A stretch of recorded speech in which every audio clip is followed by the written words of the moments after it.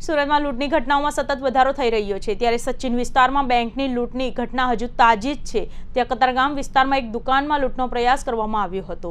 Number વગરની bike પર આવેલા લૂંટારાઓએ હથિયારો સાથે દુકાનદારને લૂંટવાનો પ્રયાસ કર્યો હતો. જોકે બૂમાબૂમ થતા એકઠા થયેલા લોકોએ એક લૂંટારોને ઝડપી પાડી પોલીસને હવાલે કર્યો હતો. કતરગામ વિસ્તારમાં આવેલા ધનમોરા પાસે આવેલા મગનનગર બે ના ક્રિષ્ના કોમ્પ્લેક્સના લૂંટનો પ્રયાસ થયો હતો. વૈષ્ણોદેવી મેટલરની દુકાનમાં સવારે દસ વાગે લૂંટનો પ્રયાસ કરવામાં આવ્યો હતો. લૂંટારાઓ નંબર પ્લેટ વગરની બજાજ પ્લેટિના પર આવ્યા હતા. ધારદાર ચપ્પુ અને પિસ્ટોલ જેવું હથિયાર લઈને દુકાનમાં પ્રવેશ કર્યો હતો. દુકાનદારે બૂમાબૂમ કરતા આસપાસના લોકો દોડી આવ્યા હતા. એક લૂંટારો એકઠી થઈને લોકોની ભીડમાં હાથે ઝડપાઈ ગયો હતો.